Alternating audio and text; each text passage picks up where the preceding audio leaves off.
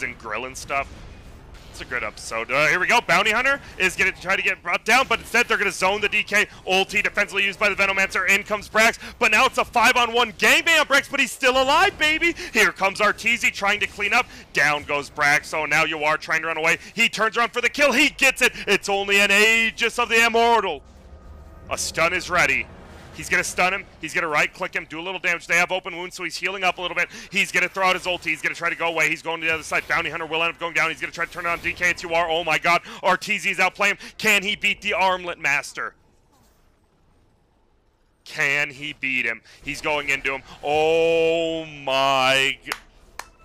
Fucking R... Motherfuck the Teasy. King back.